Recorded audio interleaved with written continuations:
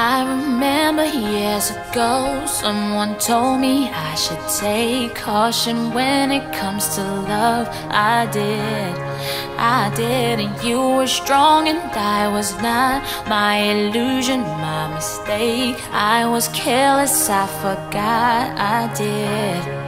And now, when all is done, there is nothing to say. You have gone there so effortlessly. You have won, you could go ahead, tell